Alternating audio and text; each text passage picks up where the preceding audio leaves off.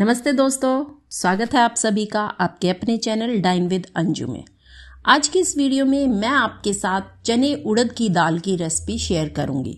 ये बिल्कुल ढाबे की तरह बनकर तैयार होती है, बहुत ही टेस्टी है। और अगर आप मेरे चैनल पर पहली बार आए हैं तो चैनल को सब्सक्राइब ज़रूर करें। सब्सक्राइब करने के बाद बेल आइकन को प्रेस करना बहुत ज़रूरी है। और अगर वीडियो पसंद आए तो लाइक और शेयर भी ज़रूर करें। चलिए शुरू करते हैं। उड़द चने की दाल बनाने के लिए हमें आधा कप उड़द की दाल और वन फोर्थ कप चने की दाल। ये लेनी है और इसको अच्छी तरह से धो लिया है।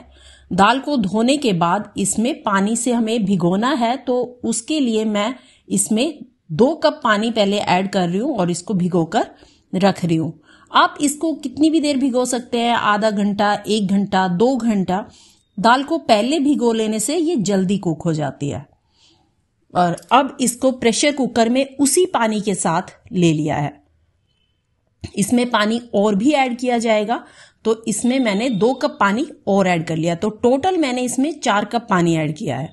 अगर आप दाल ज़्यादा पतली पसंद करते हैं, पानी थोड़ा और ऐड किया जा सकता है, कम पसंद करते हैं तो पानी थोड़ा कम रखें।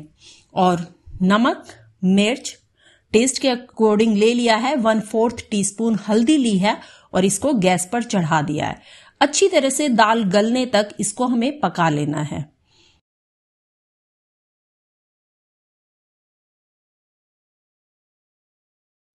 और जब दाल उबल गई है तो हम तड़के के लिए मैंने एक कढ़ाई में घी लिया है। ये देसी घी है, आप ऑयल में भी तड़का लगा सकते हैं, पर दाल में अगर आप देसी घी में तड़का लगाएँगे तो वो बहुत टेस्टी बनकर तैयार होती है।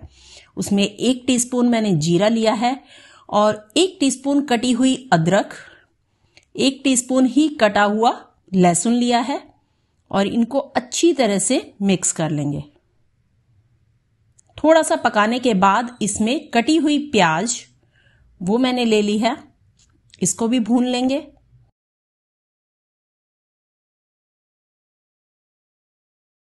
प्याज को भी थोड़ा पकाने के बाद अब इसमें कटी हुई हरी मिर्च। मैंने दो कटी हुई हरी मिर्च ली है। आप अगर तीखा ज़्यादा पसंद नहीं करते तो आप ये स्किप भी कर सकते हैं।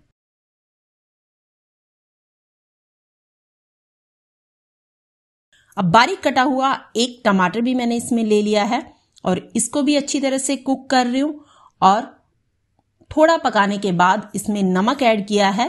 दाल बनाते हुए मैंने नमक कम रखा था, ताकि हम तड़के में भी नमक और मिर्च ऐड कर सके। इससे कलर भी अच्छा आता है और और भी ज़्यादा टेस्टी दाल बनकर तैयार होती है।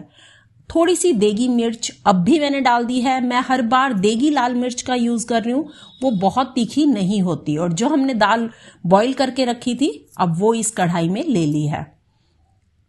अब दाल नॉर्मल घरों में इस तरह से बनाई जाती है, ये दाल तैयार हो जाती है, पर इसके ऊपर एक तड़का लगाया जाता है, जिससे और भी ज़्यादा टेस्टी और ये देखने में भी अच्छी लगती है। हरा धनिया बारीक कटा हुआ मैंने इसमें डाल दिया है और गैस के बर्नर को अब मैं ऑफ़ कर रही हूँ। पर अभी दाल हमारी ये तैयार नहीं हुई है। अभी दाल में ये स्पेशल तड़का लगाना है, उसके लिए एक चम्मच देसी घी लिया है और उसमें वन फोर्थ टी स्पून हिंग और एक सूखी लाल मिर्च। ये ली है और देगी लाल मिर्च थोड़ी और इसमें ऐड करके इसको तड़का हम ऊपर से लगाएँगे। इससे दाल में बहुत बड़ा चेंज आ जाता है। ये तड़का बहुत ज़्यादा ज़रूरी है कि इस तड़के से ही वो ढाबे वाला टेस्ट आएगा।